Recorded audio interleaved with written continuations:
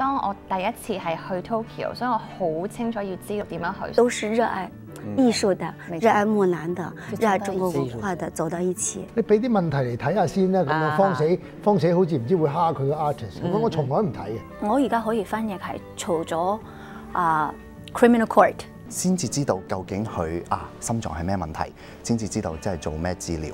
大城小聚，逢星期一至五下午六點二十分。